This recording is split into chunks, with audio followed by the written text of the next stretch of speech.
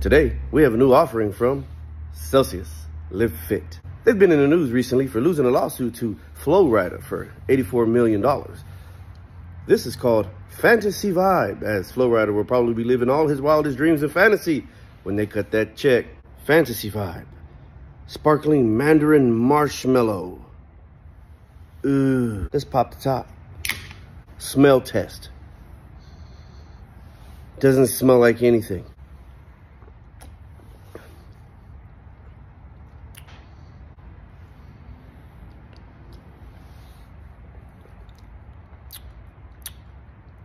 That legitimately tastes like marshmallows.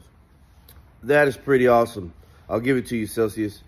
They added to their vibe line, probably to generate new revenue to pay off Flo Rida. But it's all good. You got a hit with this one. I got another one in the truck. Y'all have a good day.